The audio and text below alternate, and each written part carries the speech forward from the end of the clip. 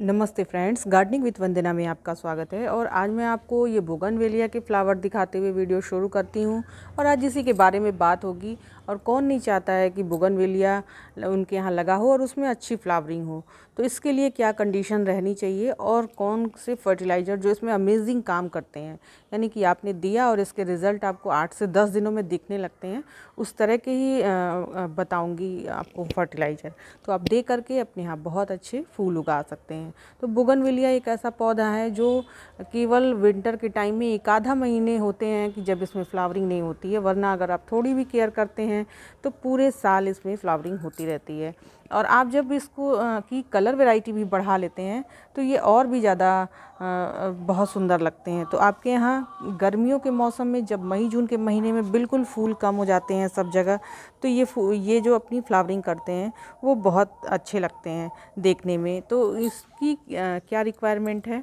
इसको पहले जानते हैं। तो जब भी आप बुगनविलिया का पौधा गमले में लगाएँ तो उसको आप दो तरह से सेप कर, सेप अप कर सकते हैं। या तो आप उसे बहुत बुशी बनाएँ या बहुत लंबा लंबा करके आप दीवालों पे चढ़ाएँ। तो इसे मैंने देखिए काट छाँट करके थोड़ा बुशी बनाने की कोशिश की हुई है। जब भी ये देखिए फ्लावर आ जाते हैं तो इन फ्लावरों को कट कर दिया जाता है सूखने के बाद। आप इधर की ब्रांचेज को देंगे, देखेंगे तो ये प्रूनिंग हुई है। ये देखिए, ये ये इसमें जैसे फ्लावर आए हुए थे, अब इसको भी प्रून कर देना चाहिए था, लगता है ये छूट गया। लेकिन ये देखिए, इस तरह से ऐसे ऐसे जब छोटी छोटी प्रूनिंग हो जाएगी तो ये नीचे से यहाँ जहाँ प्रूनिंग होती है, उसके ठीक नीचे से हार्मोन्स बनते हैं ग्रोथ हार्मोन्स और जिससे कि फटाफट से नए फुटाव आते हैं। तो नए फुटाव जब आएँगे तो उसी पे फूल लगते हैं। तो यहाँ भी देखिए, मैंने प्रूनिंग की हुई है। अगर आपको दिख रहा हो तो ये देखिए, यहाँ पे मैंने प्रूनिंग की हुई है और जस्ट इसके पीछे से नए फुटाव आए हैं और उसी में फ्लावरिंग हुई है। तो ये एक ट्रिक आपको अपनानी चाहिए बोगनविलिया में। इसका फर्टिलाइज़र से कोई लेना देना नहीं है। अब इसी तरह के जब आप काम करेंगे, जैसे कि फूल आए, अब जैसे यहाँ देखिए ब्रांचेज आई हुई हैं जो यहाँ पे।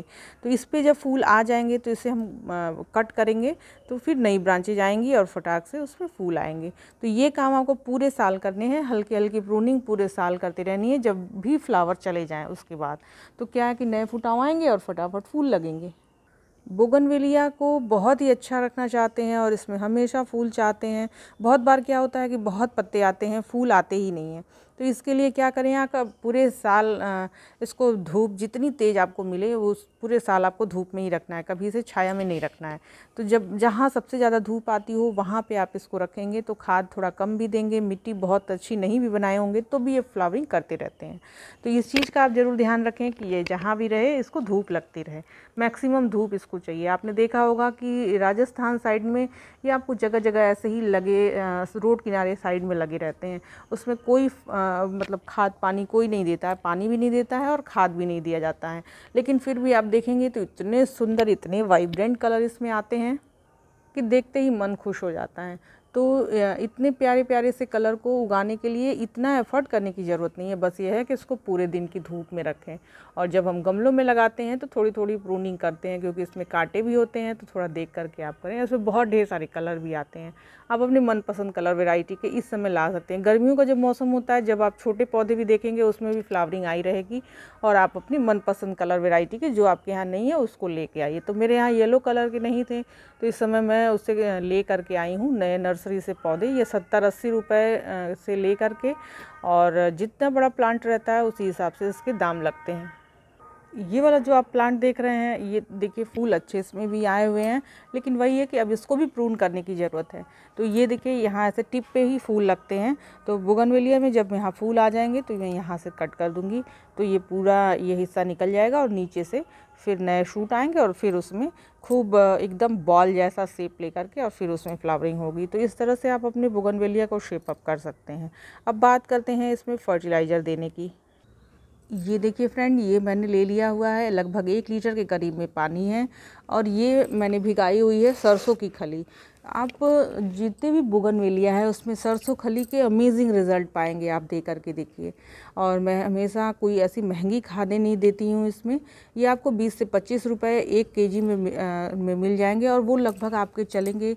अगर आपके पास 25-50 प्लांट में है तो भी वो छः महीने से ऊपर आपके यहाँ चलेंगे, क्योंकि क्वान्टिटी जो इसकी लगती है, बहुत कम लगती है। तो सरसों खली किस तरह का होता है? अच्छा पहले ये दिखाती हूँ। ये देखिए फ्रेंड ये सरसों खली है, जो कि तेल निकालने, जो सरसों होते हैं, के बीज होते हैं, उनका तेल निकालने के बाद जो वेस्ट बच जाता है, उसी को ही सरसों खली खाद कहते हैं। तो ये आपको आसानी से नर्सरीज पे भी आजकल मिल जा रहा है, और जहाँ पशुओं का चारा मिलता है, वहाँ भी मिल जाएगा, और जहाँ पे तेल निकाला जाता है, सरसों का तेल निकाला जाता है, चक्की पर वहाँ भी ये आसानी से पच्चीस से तीस रुपये के का मिल जाएगा, और एक के बहुत दिनों तक सालों चलने वाले होते हैं। तो इसलिए ये बहुत महँगी भी नहीं है। तो सरसों खली के, आप बहुत इमेजिंग रिज़ल्ट भी हैं। बहुत आप डाल करके देखिएगा, दे करके अपने प्लांट्स में। बहुत अच्छे काम करते हैं। तो सरसों खली मैंने भिगा ली है लगभग, देखिए, ढाई सौ ग्राम इसको चार पाँच लीटर पानी में भिगा दिया था और दो दिन, तीन दिन छोड़ दिया है। तो ये ऐसे तैयार होते रहते हैं मेरे यहाँ और लगभग लगभग जितने भी फूलों वाले पौधे हैं, उसमें ही देना है। बहुत ज़्यादा देखिए नहीं देना है, केवल इतना ही है। लगभग ये हमने पचास ग्राम ले लिया हुआ है। पचास एम के करीब में पानी है और एक लीटर पानी में इसको डिज़ोल्व कर लिया है। बस केवल इतना ही करना है। ये देखिए, थोड़ा सा कम भी मैं कर दे रही हूँ, थोड़ा गाढ़ा लग रहा है। तो इसको खूब पतला सा एकदम डाइल्यूशन बना करके रख लेना है आपको। और इसको अपने बुगनवेलिया के पौधे में देना है। और देखिए, हमारे जो फूल हैं, वो पूरे फूलों से लदे हुए हैं अभी। तो इसमें जब इतने सारे फूल हैं तो अभी हमें किसी तरह के केमिकल फर्टिलाइज़र को नहीं देना है इसमें। जब तक फूल हैं। फूल जब ख़त्म हो जाएँगे, उनकी प्रूनिंग हम कर लेंगे तो हम क्या करते हैं कि जैसे ये वाला सोलूशन बनाया और इसमें ही आधा चम्मच पोटाश लगभग ढाई ग्राम के करीब में, दो से ढाई ग्राम इसको ले लिया। पाँच ग्राम तक भी ले सकते हैं, लेकिन मैं एक सेफ़ साइड लेती हूँ तो दो से ढाई ग्राम आप इसको इसी पानी में मिला लेंगे और तब इसको देंगे। अभी मैं इसको नहीं मिला रही हूँ पोटाश है ये म्यूरिट ऑफ़ पोटाश इसको ये भी आसानी से पच्चीस रुपये का आधा केजी मिलता है और यही इसी तरह का पैकेट मैं ले आती हूँ। कोई इसका ऐसे ब्रांड तो नहीं है ये लोकल ही जो बड़ी बड़ी बोरियों में आते हैं, उससे ही छोटे छोटे पैकेट इसके बनाए जाते हैं और खाद बीज की दुकान पर ये आसानी से मिल जाते हैं। तो ये पच्चीस रुपये का हाफ़ के जी है, आप इसको भी ले सकते हैं। ये भी बहुत अच्छा होता है बुगनवेलिया प्लांट के लिए। तो इसको महीने में एक बार देना है और ये वाली जो सरसों खली की खाद है, इसको पंद्रह दिनों में एक बार आपको देना है। और केवल इतना ही, ये दो कॉम्बिनेशन आपको देने से ही आप देख पाएँगे कि आपके जो सरसों जो फूल हैं बुगनवेलिया के, इस सरसों खली की खाद देने से बहुत ही इसके अच्छे कलर जो इसमें आते हैं तो ये कलर बहुत सुंदर आएँगे। तो आप इसे एक लीटर डाइल्यूट कर लीजिए और कोशिश ये करनी चाहिए कि जब भी हम इसमें पानी दें तो बहुत ज़्यादा नीचे से पानी, गमले के नीचे से नहीं निकले, क्योंकि नीचे से निकलेगा तो वो मक्खियाँ भी लगेंगी और आपका जो फर्टिलाइज़र है वो भी वेस्ट होगा। तो इस चीज़ का ध्यान रखें कि उतना ही पानी दें जितना कि पूरा गमला पानी से भर जाए। बहुत थोड़ा अगर निकलता है तो कोई दिक्कत नहीं है। और ये जो फर्टिलाइज़र आप बना रहे हैं, ये आप बुगनवेलिया में दे सकते हैं हिबिस्कस में दे सकते हैं एक्जोरा में देना चाहिए। एक्जोरा में देखिए फ्लावरिंग का टाइम है इस समय। एक्जोरा में भी आप दे सकते हैं, मोगरा में दे सकते हैं और सभी तरह के जितने भी आपके फूलों वाले पौधे हैं, गुलाब में भी देना चाहिए।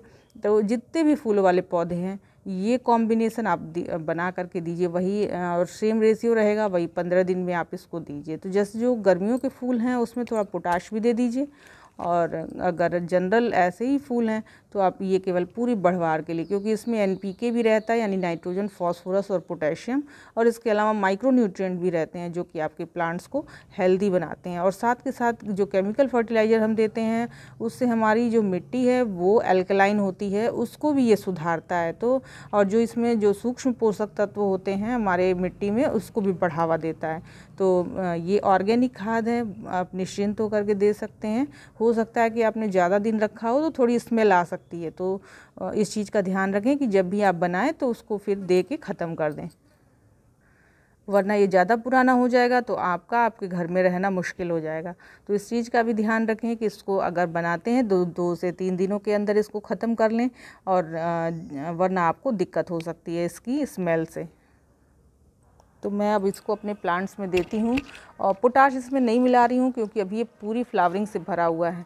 जब इसकी हल्की प्रूनिंग करें तो आप पोटाश भी दे दें और इतना ही देती हूँ मैं ताकि ये ज़्यादा गमले से बाहर ना आए। तो आधा लगभग मैंने दे दिया है और जो पानी बचा हुआ है वो आधा मैं इस गमले में दे दूँगी। तो इसे आप दे करके देखिए आपके बुगनविलिया के जो फूल हैं उसके कलर बहुत सुंदर आएँगे और बढ़वार तो बहुत अच्छी होगी ही होगी। तो फ्रेंड वीडियो अच्छी लगी हो इन्फॉर्मेटिव लगी हो तो इसे लाइक ज़रूर करिएगा। मेरे चैनल में नए हो तो गार्डनिंग से रिलेटेड वीडियो दे, देखने के लिए आप सब्सक्राइब भी कर लीजिएगा। नमस्ते फ्रेंड्स